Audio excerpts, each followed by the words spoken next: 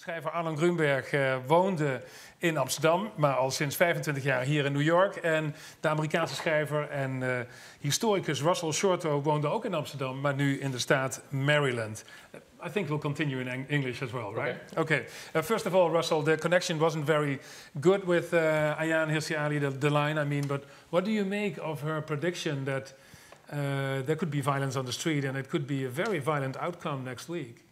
I fear that could be the case. I don't know. Uh-huh. Um, if so, I, the, the violence that I fear would be in the event of a Biden victory, or, or if it looks like a Biden victory, Trump has sent, been sending out signals that uh, he may not put up with that, uh, that he may, and he may sort of uh, uh do whatever he can to uh, to, uh, to stir things up. And then we're in uncharted territory. What do you make of uh, what Ayaan Hirsi Ali just said about the Democratic Party and Joe Biden not understanding, uh, let's say, the middle America, uh, the Midwestern states, and not listening to people who are in deep problems and not having done anything new after Hillary Clinton lost four years ago? Yeah, I don't uh, agree with much that Ayaan said, but I would take her point that um, the, the, the left wing of the Democratic Party.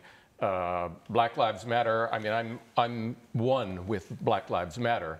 However, at least in terms of the approach, the, uh, the, the, way that you're, the language that you're using, defund the police, you are trying, let's say Biden wins the election, mm-hmm. and let's say the Democrats take the Senate they still have to deal with the fact that 40 something percent of the people voted for Donald Trump, most of them knowing that Trump is, you know, with all due respect to Ayaan Hirsi Ali, he's not a, a, a, credible politician with serious policies. I mean, he's more in the nature of a monster. Uh, and yet, a monster? I, yeah, I would say yes. Mm. And I don't think that's very controversial.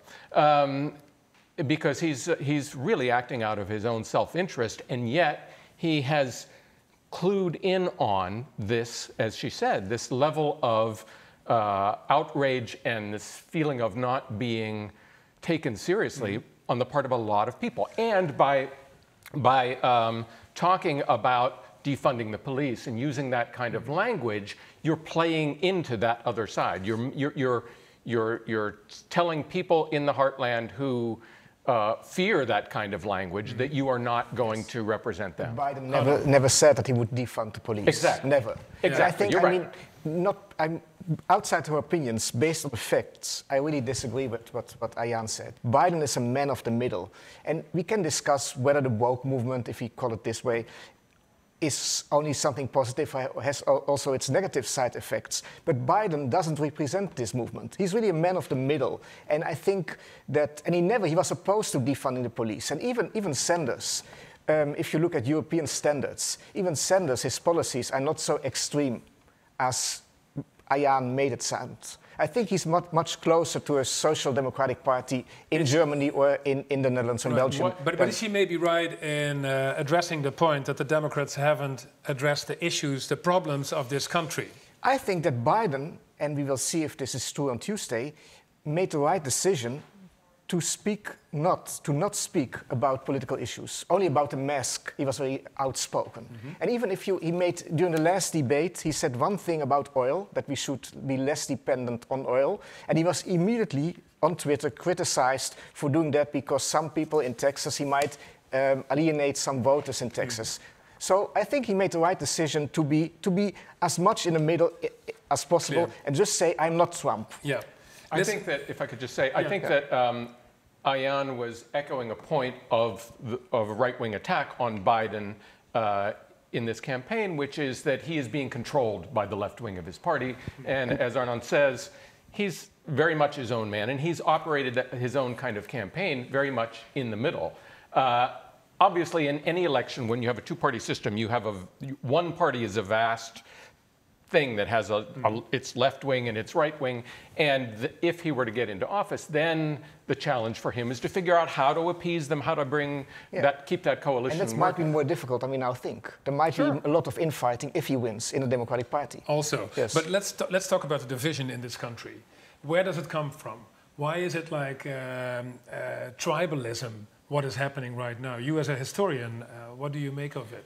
I think that a lot of uh, Europeans who are bewildered by what's gone on in the US by the past four years, say, uh, tend, and a lot of Americans too, uh, tend to have, look at it from the perspective of wasn't this country founded in the period of the Enlightenment by people, by American leaders who looked to the European Enlightenment and reason and will found a system based on democracy and everyone will have rights.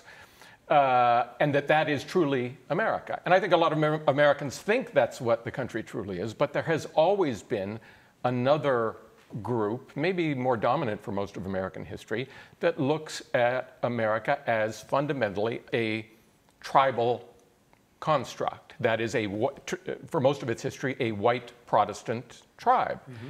And that group, in recent decades, sees itself threatened. Now, it was. Uh, uh, You're talking about white Americans. A certain white Americans who feel threatened by otherness. Yeah. But we have never seen, at least I've never seen it in the last 20 years, a division so strong and hatred uh, like you see now. For example, just to give you an example, we just got from people who are working uh, for the UN. The UN has warned their staff with uh, an email in which it says, in these uncertain times with COVID 19 and the possibility of civil unrest, UN staff and non staff personnel are encouraged for their own safety to avoid crowds in general. And this is a warning from a film company in LA, a big film company, and they tell their employees municipalities across the country are preparing for the possibility of civil activity regardless of the outcome of the elections. Stock up on supplies, food and water, and other essentials. Make sure you have fuel in your car in case you need to evacuate. What do they mean by civil activity? I think, of course, the UN is always too care very careful. Okay, that's fine. You I think, think it's, it's I think we overestimate this, the chance that there really will be big-time violence here. Okay. I think maybe if there's a contest election, and this will drag on for, for weeks, yes, there's a possibility. But also, I think what we saw also this spring, that, that even if there are small outbursts of violence, they fade away quite quick, quickly. And I don't think that the majority in this country wants a civil war. And speaking about all these this huge disagreements, I think it's not unique for the US. Look at what's happening now in Warsaw, in Poland. Look at what's happening in France. Look what's happening in so many countries. I think it's happening in the West in many places. What's unique about this place, of course, is the amount of weapons that are here mm-hmm. and the history. Yeah. And the fact that yeah. many people bought weapons the last six, seven months. Uh, and it's not yeah. only unique in America now. I mean, uh, the Civil War was fought over in, essentially these kinds of issues: who who's who has rights, who has freedoms, uh, and then the period after the Civil War, Reconstruction. That was a chance to change minds, and it failed. Reconstruction was a vast failure. Um, in the 1920s, there were parades down in New York City, parades of uh, Ku Klux Klan. Uh, so that there's a long history both of that kind of uh, uh, uh, uh tribal expression of, of power and of opposition to it. And this you... is the late, and, and this is the latest manifestation, which is greatly exacerbated by social media, by this mm-hmm. Uh, forming of clusters. But do you agree with uh, Arnon that he says, well, listen, it's, it's maybe small pockets of violence, that will be it, and uh, it's not a big issue. Well, it's, it's, hard to predict the future, but I think that, mm. that hmm. by talking so much about the possibility of violence, it, it might also become a self-fulfilling prophecy. Right, right. I think, yeah, in, in general, I'm, I'm, a pessimist, but now I feel the need to be a bit more optimistic because everybody is so pessimistic. Yeah. And also, especially in Europe, sometimes I feel there's this glee, this schadenfreude, that the US is doing so badly, so they tend to overestimate it. Interesting. Yeah. Also, we should maybe address that you applied for a US passport. I'm becoming a citizen, yes. Uh, right. Also, so, I mean, you're invested now as a, as a future resident. You, yes. You hope that, that this will be a nice, peaceful country, I suppose. I hope that I won't need to pack my suitcases to go to Canada. No, but I, I, don't think I don't think this. And even even in the unlikely event that that the current president is winning, uh-huh. I'm not leaving.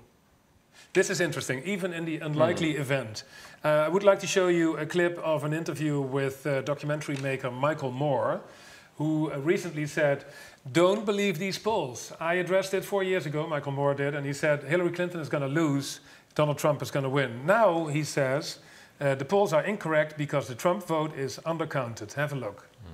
Listen, don't believe these polls, first of all. And second of all, the Trump vote is always being undercounted.